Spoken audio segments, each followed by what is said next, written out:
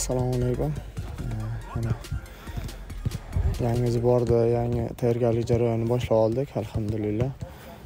Yangi bosh murabbiy ostidagi o'zi uchinchi yig'ilishimiz. Bizga biz ko'proq o'sha yangi murabbiyni stilini yangi sxemasini o'rganish jarayonidamiz. Inshaalloh man o'ylashimcha bu murabbiy juda qattiq qattiqqo'l и bizga o'sha agressivniroq futbol o'ynashni ko'proq e'tibor qaratyapti. Inshaalloh bosqichma bosqich o'rganib boryapmiz. Xudo xohlasa terma jamoani eng maksimal optimalniy sport formasiga o'sha maksimal eng yuqori pog'onaga olib chiqishga harakat qilamiz. Muhit qanaqa terma jamoada? Muhit ajoyib. Yangi bolalar yangi murabbiy baribir.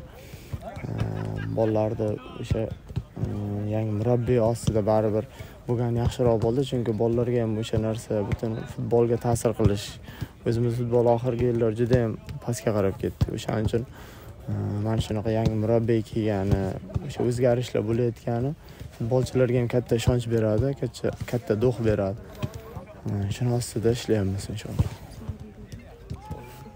Iordaniyaga qarshi o'yinda o'sha markazda xatolar kuzatildi bo'shliqlar bo'ldi. Shu bo'yicha ham ish olib borilyaptimi va murabbiy bu borada nimalar edi jamoaga albatta sizni ham pozitsiyada markaziy yarim markaziyda xatolar bo'ldi. Bo'shliqlar kuzatildi. Uch nol yutqizdik har holda baribir himoyada muammolar borligini anglatadi buni men emas murabbiy ham intervyusida ta'kidlab o'tdi menimcha. Himoyada muammolarimiz bor deb. O'yindan keyin aytdiki hali o'yinni ko'rib chiqmadik endi yig'ildik. O'sha o'yinda ham ko'rib chiqib xatolar ustida ish olib boramiz dedi lekin asosiy aytgan murabbiyni gapi biz baribir o'zbek futboliga o'sha chiroyliroq futbol o'ynashga ko'proq pas bilan to'p bilan muomala qilishga harakat qilamiz. Murabbiy aytdiki unaqa qilmasak ham rezultatiniroq futbol o'ynashimiz kerak. O'sha yaxshiroq himoyalansak и oldida atakada hujumda gol uramiz degan maqsadda aytdi. Biz oldinda yaxshiroq harakat qilishga harakat qilyapmizu lekin himoyada ko'proq bo'sh zonalarda hujumga o'tganingizdan keyin xohlaysizmi yo'qmi bo'sh zonalar ochiladi. O'shalar ko'p ochilib qoldi o'shanda gol o'tkazib yubordik. Lekin endi harakat qilamizki o'sha birinchi o'rinda himoyaga yaxshiroq e'tibor qaratish kerak. Shunda yaxshiroq bo'ladi. Rahmat omad. Omad tilaymiz. Umuman gruziya terma jamoasi haqida nima deya olasiz? Qanchalik bu jamoa haqida ma'lumotga egasiz? Birinchi navbatda shuni ayta olamanki gruziya terma jamoasi yevropaga kiradi. O'shaning uchun kuchli raqiblardan bittasi. Yaxshi o'yin futbolchilarga ega.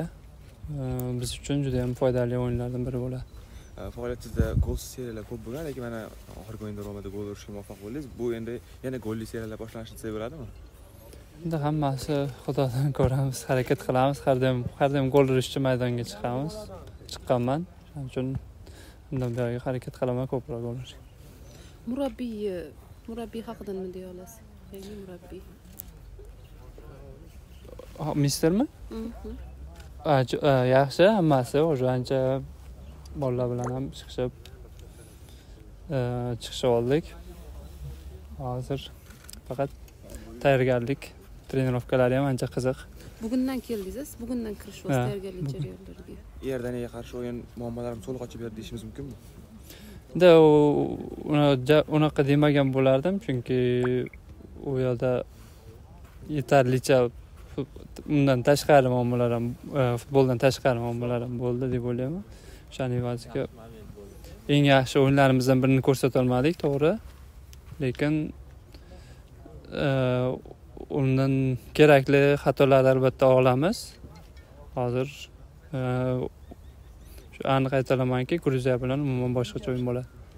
Umuman. Termada ham klubda ham yevropalik tajribali mutaxassis qo'lostida to'p tepyapsiz. O'xshashlik va farqli jihatlari qayerda? Oxirgi savol endi hamma murabbiyni o'zini o'yin uslubi bor. Albatta farq bor katta lekin terma jamoada terma jamoa uchun klubda klub uchun harakat qilamiz. Rahmat.